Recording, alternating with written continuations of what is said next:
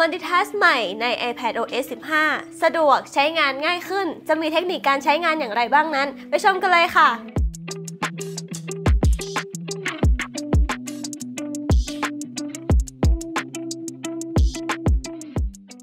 ดีค่ะ มาพบกับนุกวีกันอีกครั้งนะคะ คลิปนี้นะคะนุกวีก็จะมาแชร์เทคนิคการใช้งาน iPad อีกเช่นเคยค่ะ โดยคลิปนี้นะคะนุกวีก็จะมาพูดถึง Multitask ใน iPad OS 15 กันค่ะ โดยเขานะคะได้ปรับโฉมใหม่นะคะ ให้เราได้ใช้งานสะดวกมากขึ้น สามารถจัดการหน้าต่างแต่ละแอปนะคะ ได้ง่ายมากขึ้นค่ะ จะมีเทคนิคการใช้งานอย่างไรบ้างนั้นไปชมกันเลยค่ะ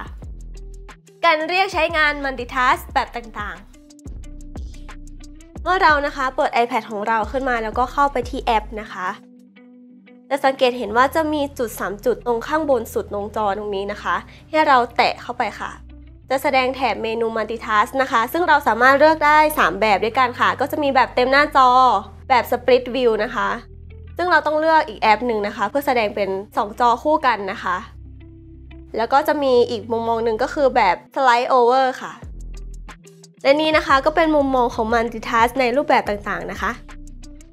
การใช้งาน Split View มุมมองแบบ Split View นะคะแอปของเรานะคะจะแสดงคู่กันค่ะ เดี๋ยวนุกวีนะคะจะยกตัวอย่างแอปที่เราใช้กันบ่อยๆนะคะ อย่าง Facebook และก็ YouTube ค่ะ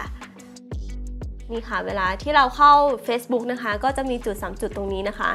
ให้เราเลือกมุมมองแบบ Split View ค่ะ แล้วก็เลือกแอป YouTube นะคะ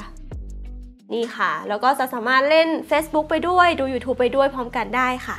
หรือในกรณีที่เราต้องการใช้แอป Note นะคะ คู่กับ Safari ก็สามารถทำได้เช่นเดียวกันค่ะ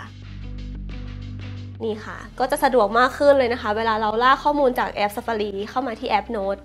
ซึ่งเราสามารถปรับเส้นแบ่งตรงกลางนี้นะคะ ให้ชิดซ้ายหรือชิดขวาก็ได้ค่ะ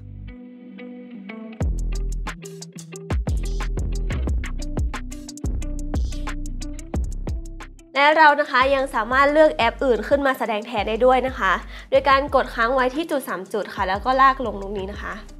แล้วก็สามารถเลือกแอปถัดไปได้เลยค่ะ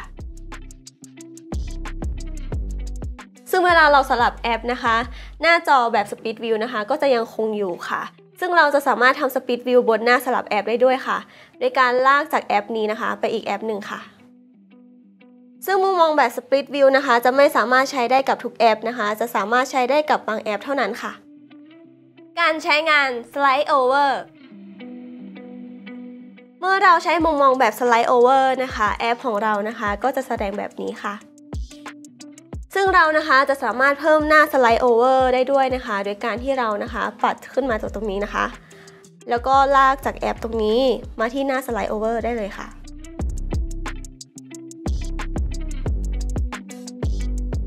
โดยหน้าสไลด์โอเวอร์ที่เราเพิ่มมานะคะ เราจะสามารถปัดขึ้นไปด้านบนตรงนี้นะคะ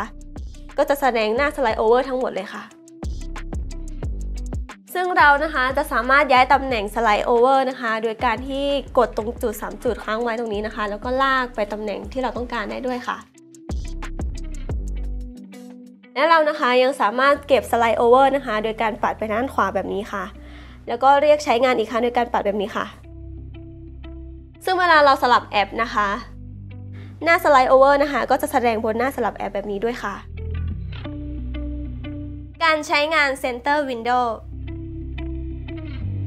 การใช้งาน Center Window นะคะ เราจะสามารถใช้ได้กับโน้ตหรือว่าข้อความค่ะ โดยการที่เราเข้าไปที่โน้ตที่เราต้องการเปิด Center Window นะคะ ก็ให้แตะค้างไว้แบบนี้ค่ะ แล้วก็เลือกเปิดในหน้าต่างใหม่ตรงนี้นะคะ ก็จะแสดงหน้าต่างแบบ Center Window แบบนี้เลยนะคะ การใช้งานชั้นวางหนังสือ เวลาเราเปิดแอปนะคะที่มีหลาย ๆ หน้าต่าง อย่างเช่นแอป Note หรือแอป Safari นะคะ ทุกคนจะสังเกตเห็นด้านล่างนะคะ จะแสดงชั้นวางหนังสือค่ะ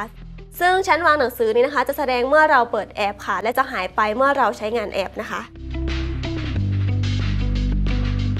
เราจะสามารถเรียกใช้งานชั้นวางหนังสือได้อีกครั้งด้วยการกดจุด 3 จุดตรงนี้ค่ะ ก็จะแสดงชั้นวางหนังสือแบบนี้เลยนะคะ และสามารถเพิ่มหน้าต่างได้ด้วยการกดบวกตรงนี้ค่ะ หรือจะสามารถสลับแอปได้ด้วยนะคะ หรือปัดขึ้นเพื่อปิดก็ได้ค่ะและสามารถใช้งานชั้นวางหนังสือได้ตอนแสดงหน้าต่างแบบสปีดวิวได้ด้วยค่ะ โดยการแตะ3จุดตรงนี้นะคะ ชั้นวางหนังสือนะคะ ก็จะแสดงด้านล่างแบบนี้เลยค่ะ และทั้งหมดนี้นะคะก็เป็นเทคนิคการใช้งาน Multitask ใน iPad OS 15 นะคะ ถ้าชอบคลิปนี้ยังไงนะคะ ก็ฝากกดไลค์ กด Subscribe ช่อง iMode Official ด้วยค่ะ คลิปนี้นะคะ นุกวีก็ขอลาไปก่อนค่ะ บ๊ายบาย